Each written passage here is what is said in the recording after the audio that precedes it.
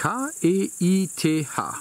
An dieser Buchstabenkonstellation kommst du nicht vorbei, wenn du dich für Titanium Outdoor-Geschirr interessierst. Was das bedeutet, das finden wir gemeinsam raus.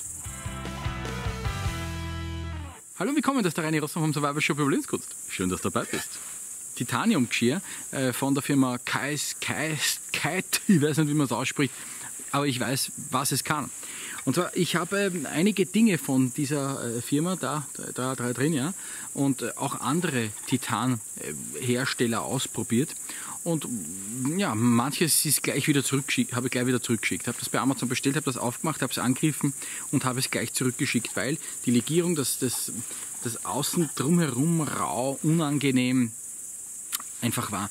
Das hat, ist überhaupt kein Qualitätskriterium, also für mich zumindest. Und ich kenne mich auch in der Metallkunde einfach nicht genug aus. Ja.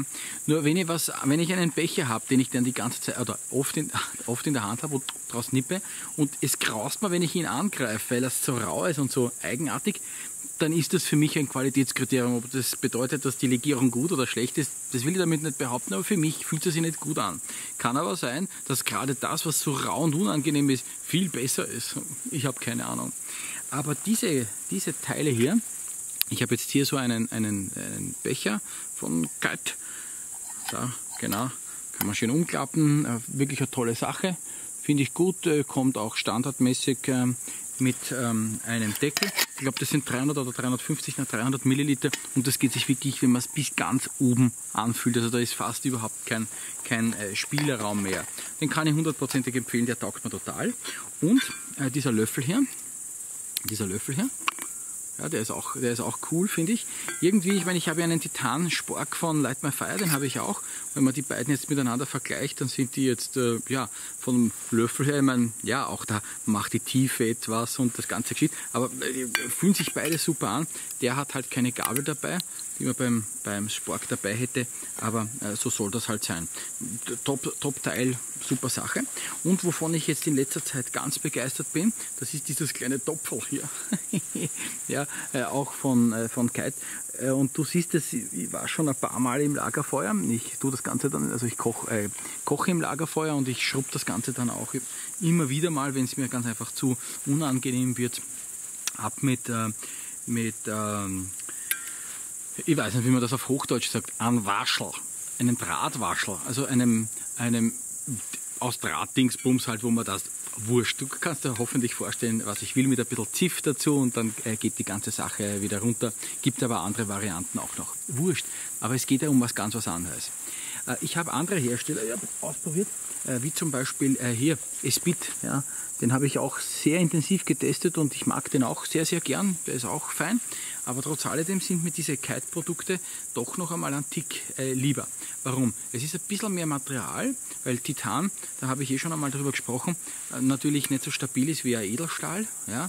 Und mir kommt auch vor, dass er ein bisschen instabiler ist bei gleicher oder ungefähr gleicher Wandstärke wie Aluminium, aber das, das, vielleicht vertue ich mich da. Wie gesagt, ich bin kein Metallkunde-Spezialist äh, und ich kann mir jetzt auch schon wieder vorstellen, so wie beim letzten Titan-Video, dass irgendwer da draußen sitzt und sich denkt, das kann man nicht sagen, das ist so fürchterlich, dann schreib's mal wieder ganz entspannt, aber das wäre irrsinnig äh, fein. Aber kannst du es auch aufgeregt schreiben, wenn es dir das lieber ist. ähm, ich finde die echt top.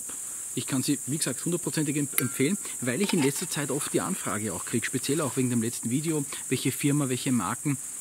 Und äh, ja, die hier ist für mich die herausragendste.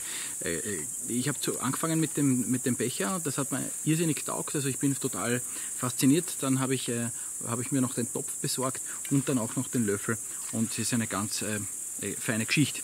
Ich will jetzt noch abschließend etwas herzeigen. So, lassen wir es runterfallen. Und zwar, äh, ich weiß nicht, was das bedeutet. Vielleicht, wenn du Metallexperte bist, dann erklär mir das bitte. Ja, ich bin ja bin für alles offen, ich weiß es ja nicht. Das ist der Espit. Und äh, bei dem Espit Titan, wenn ich das angreife, das ist auch rau. Die Legierung ist irgendwie so, ich weiß nicht, aber es geht gerade noch. Ich habe schon viele ärgere Sachen gehabt.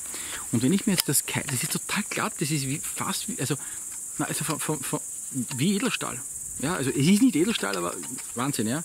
Ich weiß nicht, wie kommt das? Warum, ist das eine, wenn es greift sich an wie, weiß ich nicht, Bartstoppel und das hier total glatt und super.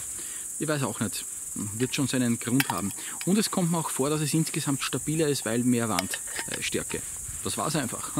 Kurzes Video, weil ich immer wieder gefragt werde, was ich da, welche Firma ich hier ähm, äh, hier empfehlen kann. Ich gebe da unten den Link auf das Produkt, äh, entweder in Europa äh, oder ich, beziehungsweise ich habe die Pfanne habe ich bei, in, in China gekauft. Das hier ist von Amazon, gibt es überall. Schau da einfach an, wo der bessere Preis ist und was dir gefällt und wo du kaufen willst, das liegt an dir. Der Hersteller ist grundsätzlich aus China, aber so ist die Geschichte ganz einfach.